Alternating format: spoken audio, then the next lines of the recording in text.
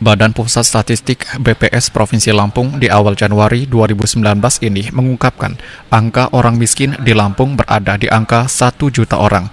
Namun BPS mendata ada penurunan sebesar 5,45 ribu orang dibandingkan Maret 2018. Desa menjadi wilayah terbanyak penduduk miskin dengan angka 14,73 persen, sedangkan di perkotaan mencapai 9,06 persen angka kemiskinan di Lampung tergolong tinggi dibandingkan dengan angka nasional sebesar 9,66 persen.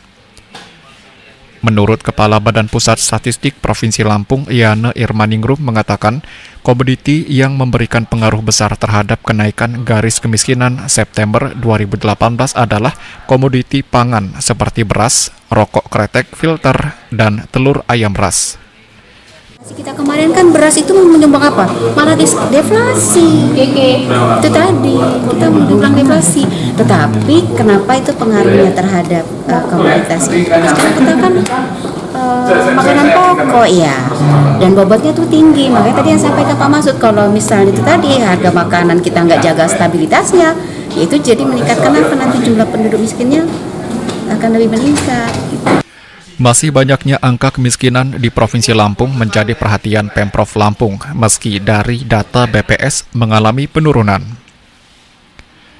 Galih Prihantoro melaporkan.